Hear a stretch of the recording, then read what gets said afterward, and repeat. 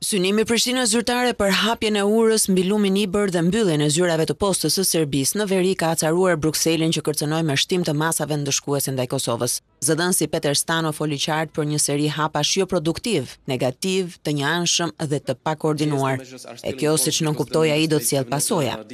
Masat u vendosën për faktin se ajo që po ndodhte çonte në përshkallëzim dhe në vend të hapave, që të çonin drejt shtensionimit të situatës,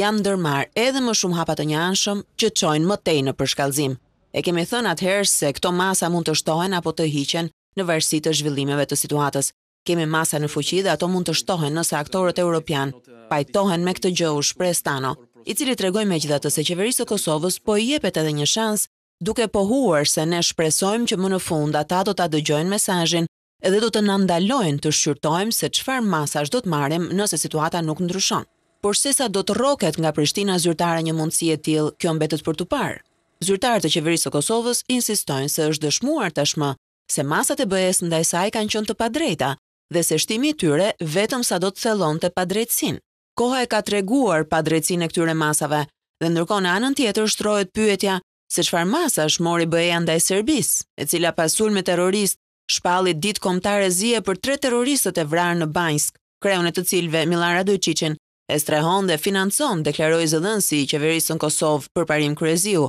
Mbyllja e nëntë zyrave të Postës së Serbisë, të cilat kanë operuar pa licencë dhe në mënyrë ilegale, është çështje e sundimit të ligjit, ndërsa hapja e urës së Mitrovicës është çështje e lirisë së plotë të lëvizjes, sundimit të ligjit dhe respektimit të marrëveshjeve të dala nga Brukseli që në vitin dy mijë e pesëmbëdhjetë, shtoi ai.